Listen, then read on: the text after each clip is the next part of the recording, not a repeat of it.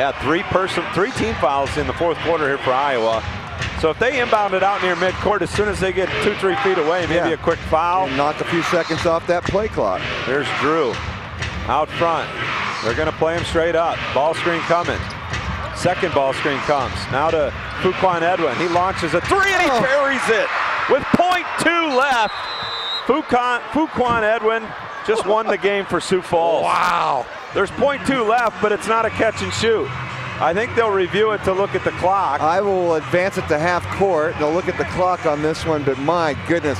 That was as tough a shot as you can take, and he hit nothing but the bottom. It barely touched the net going through. Unbelievable shot by Fuquan.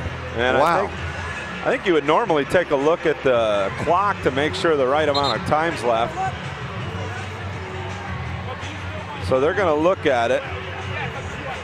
And they're going to determine, make sure the shot was, I think, A, a three, and B, the right amount of time is left on the clock. But I think clearly a three. yeah. Although I wasn't watching the feed, I was watching to see if the ball goes through. But